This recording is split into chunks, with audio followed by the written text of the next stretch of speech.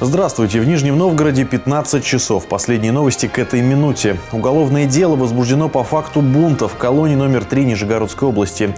Об этом сообщает пресс-служба Управления Следственного комитета России по Нижегородской области.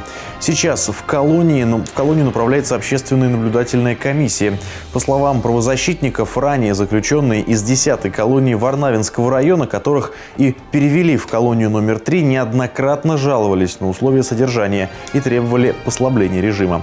Эти требования к администрации колонии, по словам правозащитников, и стали основными в ходе беспорядков, которые произошли накануне. Иск о признании банкротом Чкаловской судоверфи поступил в арбитражный суд Нижегородской области. Истцом выступила нижегородская компания «Ампир», которой судоверфь задолжала по двум договорам подряда. Согласно решению суда, Чкаловская судоверфь должна выплатить компании около 5 миллионов рублей и 250 тысяч рублей неустойки. Генеральная репетиция Парада Победы завершилась несколько часов назад на главной площади Нижнего Новгорода. Ровно в 10 утра на главную площадь города внесли государственный флаг и знамя Победы. Взглядом его провожали почти полторы тысячи военнослужащих. Это рекорд в истории проведения подобных расчетов. После традиционного поздравления и объезда командующим парадных коробок началось торжественное шествие. Здравствуйте, товарищи! Поздравляю вас с 70-й годовщиной победы в Великой Отечественной войне! Большинство участников парада военнослужащие 20-й армии, расквартированные в Нижегородской области. Именно поэтому Нижний Новгород получил право проведения парада у себя.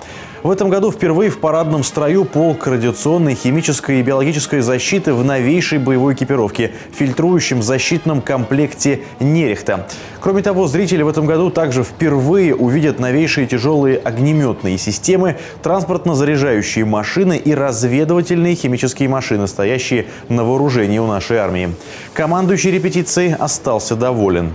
Мы в этом году э, сделали все, чтобы 70-я годовщина победы Великой Отечественной войны была э, ну, действительно запоминающей датой для нижегородцев, для людей, которые прибудут на наш парад, для гостей города Нижний Новгород.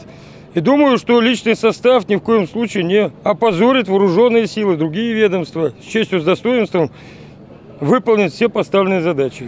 Военный парад начнется 9 мая в ровно в 10 часов утра. Кроме этого, всех пришедших на площадь Минина и Пожарского ждет обширная развлекательная программа, праздничный концерт и традиционный фейерверк в честь победы.